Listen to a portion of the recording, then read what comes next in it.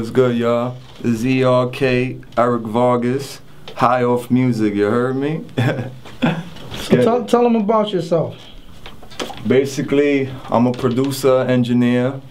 I've been doing this for over 10 years in the game, working with underground artists, working with up and coming artists, working with all types of stuff artists, movies, TV shows, all types of things. It's working on anything basically dealing with sound. Really. So how did you get in, involved or invested in sound? Where was that start for you? Uh, sound, I would say it started from high school. It started from when I when I started doing music. I started doing beats, and like around high school, I started with some uh, some software called Making Waves. It was some real basic thing. I just started throwing little loops in there, messing with little tempos, and came up with a little loop and little beat. Shit was ill. All my boys was jumping on me like, oh, this shit's crazy, this shit's crazy. And I wasn't really even engineering at that time. I was just basically just banging out. But I needed I needed somebody to engineer my shit. I didn't have no engineer to do nothing, so I took it upon my own and started engineering. At that time, I I got involved with a studio in Midtown in Hell's Kitchen.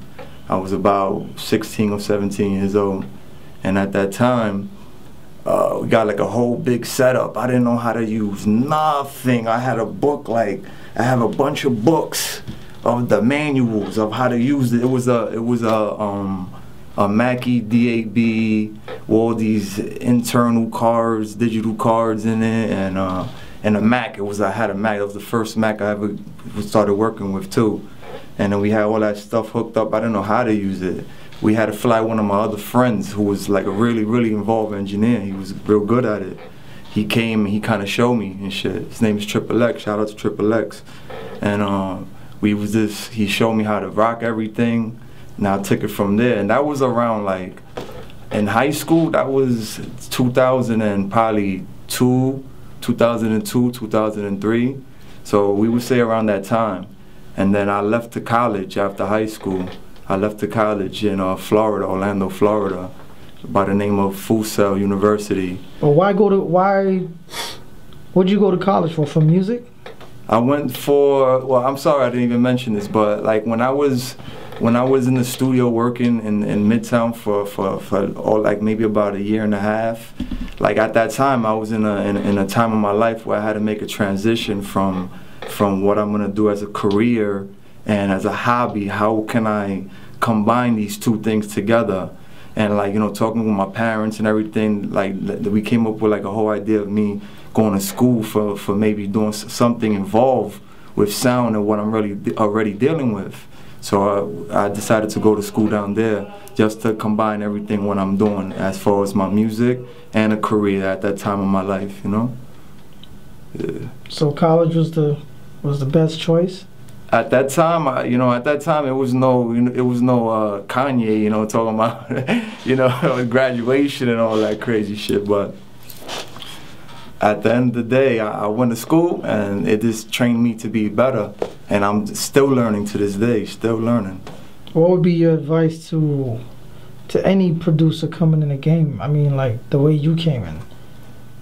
Well, I'm still coming in the game, man. Like I'm still grinding every day when I'm in the studio nonstop, like I think about the next producer, if he's up making beats, if he's sleeping, like I'm trying to be there, trying to learn new things all the time. Just trying to just basically move forward, push forward.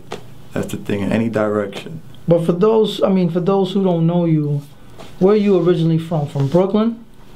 This is kind of weird, man, but I lived in Brooklyn all my life, but I didn't go to school in Brooklyn. I didn't really chill in Brooklyn. I went to school in the Lower East Side, Manhattan, and all my family's from the Lower East Side, Manhattan. So I was always hanging out on the Lower East Side. But at the very end of the, the night, I always had to go back to Brooklyn. You know, it was one of those like Brooklyn, Manhattan love things. You know, so I rep LES, LES all the time. But Brooklyn too, I have so much love for my Brooklyn. You know, love Brooklyn to the heart. Now, looking at your discography, it seems that you went real far in your career. Like, explain that progress. All right, basically, you know, after me going to college, uh, I had my best friend, Greg Diaz. He was going to college at that time too, he was taking business. And as I was in college, we was in, we had great communication, and he was like about to finish, and I was like, yo, try to get an internship somewhere, somewhere in uh, in a record label or something like that. Or, I, we wasn't even thinking of a studio. We were thinking of like the record label. So anyway, he ended up getting involved with Full Surface Records, which was uh, Swizz Beatz of his label that he had started at that time, and uh, he was interning, and I was in the in, in in the midst of me graduating from Full Sail, so he somehow set it up where. I just started coming up at, at, the studio because Swizz had just bought a studio at that same time I was graduating in uh, in uh, 36 West 37th Street in Manhattan. It, he bought it from uh, Wu Tang's peoples. It was a 36 chamber studio. I believe like all them Wu Tang records was recorded there and stuff like that. And at that time, I was just there all the time cleaning up, whatever. I was just there. Just I was just happy to be there. To see Swizz used to come through. Little Swizz, what up? He used to see me a little bit. He, didn't really know who I was and shit. And then after a while, me being there all the time, like I was just always there. Like, and then it was another engineer there. His name was uh, TP, my man TP. And then uh, he was a chief engineer there. And it happened to be one day he the TP left the studio to do some other project, and I was there to just pick up from where they left. It, like right then and there, like Swizz came up to me and he was like, "Yo, can you take the session tonight?" I, I was just always behind TP trying to see them buttons he was pressing. Even though I went to school, but every room is set up different. Like you know, you don't know the signal flow all the time, like where where it's coming from, what booth, what cable, stuff like that. Because it's a really big place and then I, so somehow I, I just got I got it going, and that was Sizzla. That was a, a Sizzla session. That was a we was doing a a thing for for BET. It was a show at that time, The Ultimate Hustler, for BET. Yeah, um, we did uh, like we did like a lot of the music in there. The Sizzla. I don't know if you, if you guys if you guys search it, you find uh, the Sizzla. Um, uh, gonna come my way. We did that shit there. That we, we did all that, all them sounds there. We recorded it. I even remember he was like, "Bumbleclad, uh, get the recording, man," because I got I was like stumbling, fumbling and shit like that, but. I made it happen and shit. I remember. I still remember he had he had the the spliff hanging off his lip, telling me that shit. Bumbleclad. Yeah, that shit was old then, bro. But that was that was one of them times that in the stool was classic, and my heart was like this. But I made sure I had to really engineer it. You know what I'm saying? Even though I I wasn't even thinking about beats really at that time, because I was thinking about really engineering the shit out of this. You know what I'm saying? At that time. I was really like trying to engineer, like trying to make sure this shit's popping, so then I could really ease myself in like a producer, you know what I'm saying? But then I just started lifting off as an engineer crazy at that time as well. At that day, man, I would say that day I got I got blessed because like TP took uh, upon another project which which took up all his time that he had to go do because he's he was in the game before me. OG, he's my OG. I consider him my OG when it comes to the engineering shit because he was before me at that spot. I know as engineers we feel kind of certain way like I'm going into your house and I'm gonna take your job like like that. Even though that was my intentions, but not in that way. Like trying to take his job, trying to work with him. So after me taking that job as being a chief engineer at Monza Studio, because Swizz renamed it to Monza Studios, and that was it. It was history from there. I worked on all these different projects. At that time, I recorded uh, Eve, uh, Busta Rhymes, DMX, uh, Mary J. Blige, uh, Alicia Keys, Swizz Beatz, of course. I don't know if I mentioned him already. Uh, Mashonda, Cassidy, Bone Thugs-n-Harmony. Uh, uh, Fabolous, uh, Dipset, and of course I, I, cannot fail to mention I recorded. Uh, well, I didn't record because Tupac. I, I, wasn't able to record Pac himself, but uh, I've worked on uh, one of uh, Tupac's albums called Pac's Life, It was one of the singles called The Untouchables. The following collection Swizzy, man. Am I wrong? Cause I wanna get it on till I die. Am I wrong? Cause I wanna get it on till I die. Get it on till I die. Get it on till I die. Y'all, y'all remember me? Y'all, y'all remember me?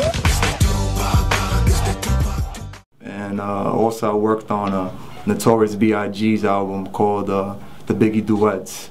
We did the, the single on that as well. It was called uh, Spit Your Game. Spit your game, talk your shit, grab your gap. Spit your game, talk your shit, grab your gap. Spit your game, talk your shit, grab your gap, call your play. Spit your game, talk your shit, grab your gap, call your play. Squeeze your clip, hit the right one. Tap that wheel, got the one. Squeeze your clip, hit the right one. Tap that wheel, got the light one. I know you guys know that joint, cause that's a knocker right there.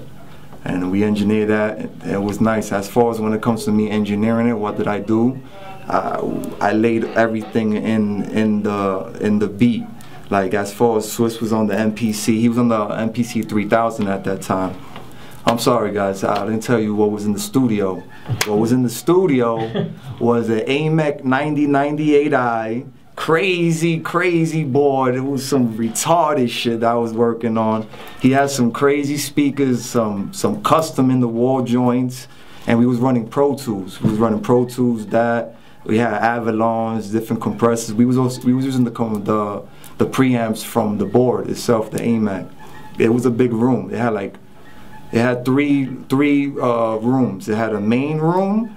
It had a small little vocal booth, and then it had like another little isolation room on the other end. You could put something else over there. Give you a little perspective of how the spot was, cause that was my home for a while. Crazy. We did crazy joints in there. I mean, with all that notoriety that you mentioned, what can you say you've learned from that?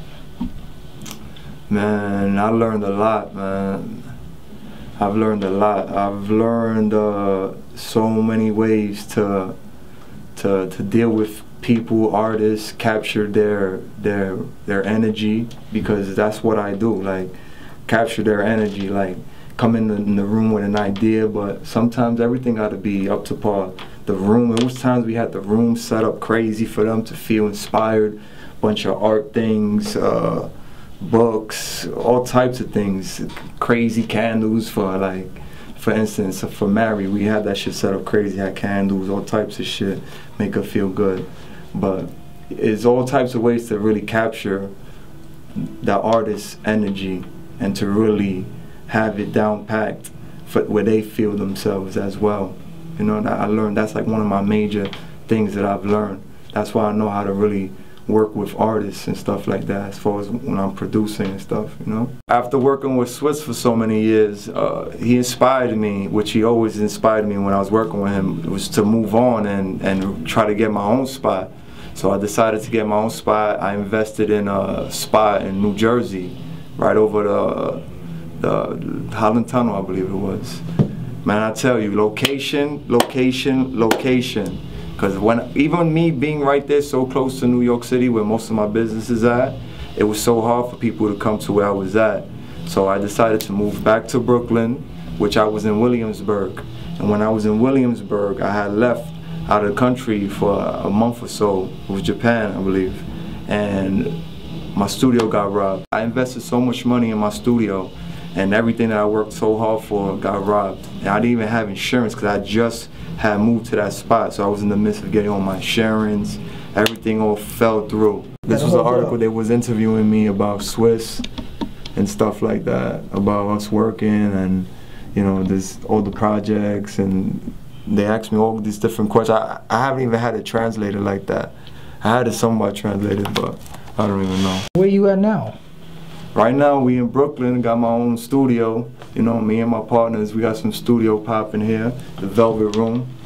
Got this looking real, real. It's real nice right now for me, cause this is my this is my pilot. I'm a pilot, and you know a cockpit. How big is a cockpit? It ain't that big. This is all I need. The joint I was working on earlier. I don't want to turn it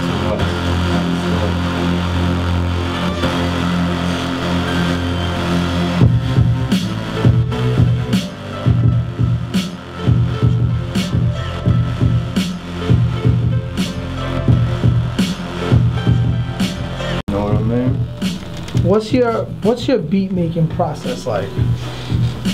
How does it start for you making a beat? Making a beat. I just I I listen to music sometimes. It depends. I have different methods. Like I listen to music, vibe out, get a little energy, get a get a little vibe, tempo. You know what I mean?